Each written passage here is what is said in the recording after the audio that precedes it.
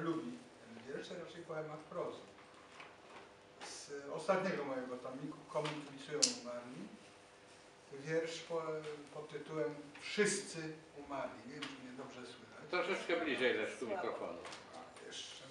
Może bez mikrofonu No będzie. może bez mikrofonu. Nie, Le, lepiej przez mikrofon. Jest on dedykowany Gerardo Beltranowi i ma motto z Cezara Vallejo.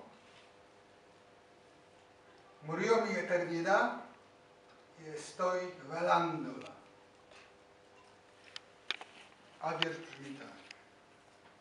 Umarła Alicja, co kiedyś katu królowej Kier uciekła wprost spod topora. Dorosła, zestarzała się i umarła. Umarł czerwony kapturek. Dziewuszka, co przechytrzyła całe stado wilków.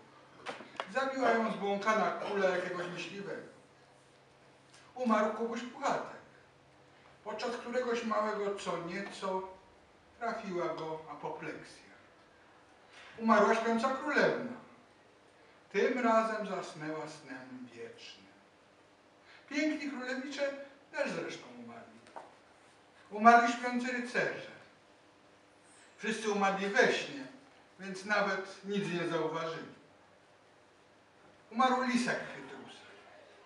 Śmierć okazała się chytrzejsza.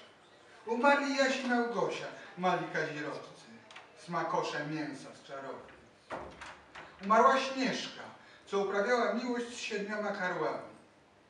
Umarła kapryśna córka króla i umarł jej mąż, sprytny prostak. Żyli długo i szczęśliwie, ale w końcu umarł. Umarł Sinbad żeglarz.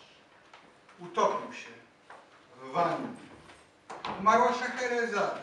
Zmarła śmiercią gwałtowną, bo król się nią znudził i nie chciał już słuchać żadnych opowiastek.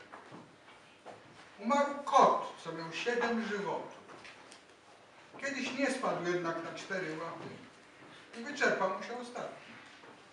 Nawet nieśmiertelność umarła. Nieśmiertelność ze wszystkich bajek o nieśmiertelności.